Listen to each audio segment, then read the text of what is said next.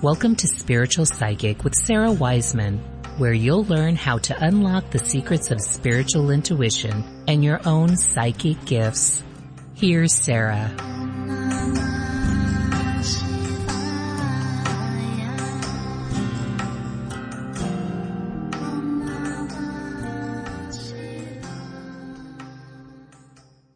Welcome to Spiritual Psychic. I'm Sara Wiseman. Today we're talking about the idea that you choose this adventure. And this idea that, you know, you choose and that you have chosen the soul experience that you find yourself in right now. Um, every soul is prevent, presented with during this time of life between lives when we go into, sometimes people use the term Akashic records. We go in and we select okay, next lifetime I want to have this experience. Uh, maybe you want to have an easy experience this lifetime, or maybe you really, really decided as a soul that you want to, you know, I'm going to say like burn through some karma, or you want to work through some soul lessons at an accelerated pace. And so you decide that you're going to choose a more challenging path. So here's the thing to remember, uh, is that everyone's big lessons are the same. Um, we are learning on the earth plane, and here's from messages from the divine. We learn on the earth plane through our fear, our shame, our self-loathing, our pride, our judgment, our prejudice, our hatred, our, our anger, our bitterness, our sadness, and our failure. I'm going to just repeat that. It's, it's kind of depressing at first until you realize that the exact opposite is also being presented to us.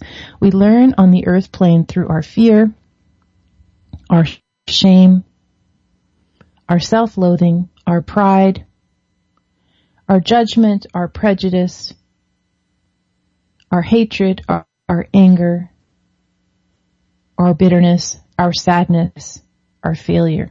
So what does this mean? That we're supposed to be in these, these kinds of states? No, it actually means the opposite. It means that these are the challenges that we are meant to move through. These are the challenges that we are meant to move through. These are the challenges that bring us to the soul lessons that we're here to learn. And here are the book Messages from the Divine States. Each lesson of separation mastered helps us crack through to the idea that we're really souls, that our true experience, our true reality is eternal, unlimited, and infinite. And when we get that, that's when things start to change. So if you accept yourself as a finite soul, you might spend a lot of time worrying about what your purpose and meaning is. Uh, you might find yourself worrying about the things that don't work in your life or being disappointed that things didn't work as you thought. Um, you might spend a lot of time fear in fear about uh, your mortality. You know, when are you going to die? What's it going to be like? And so forth. And this this idea of being finite well, it's very limited because it's finite, but it's also very limited in terms of our ability to move forward. When you instead have the idea that, that you are an infinite soul, this lifetime takes on a very different perspective.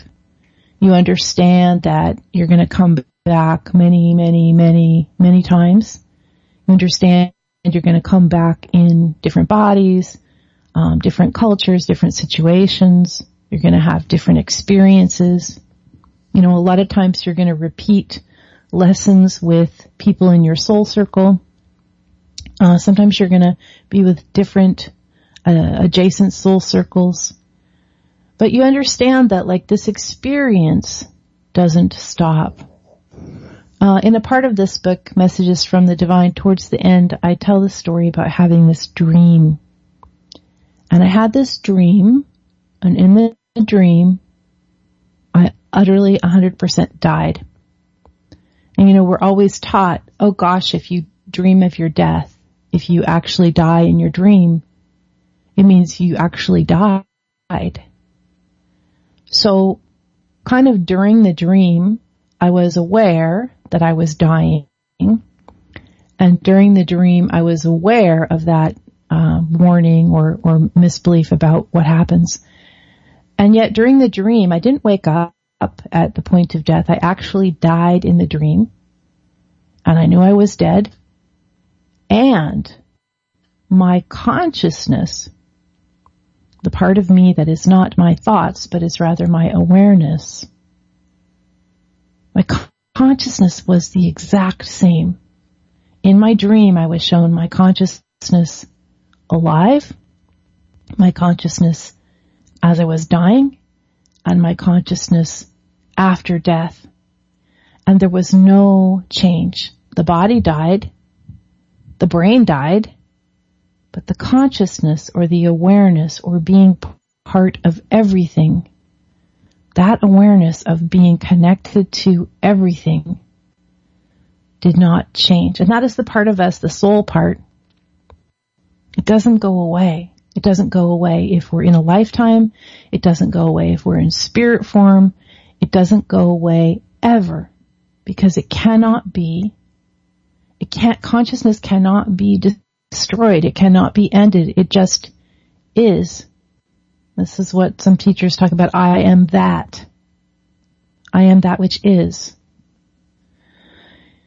It's a lot of heady stuff, especially when you're trying to like, you know, buy groceries and drive people around and, and do the laundry.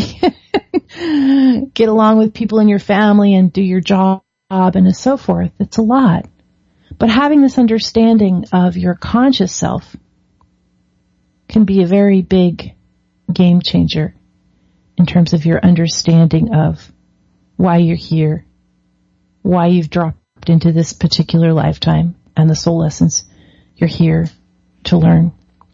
So this is, we're teaching from the book, Messages from the Divine, and you can find more about that and about me at sarawiseman.com.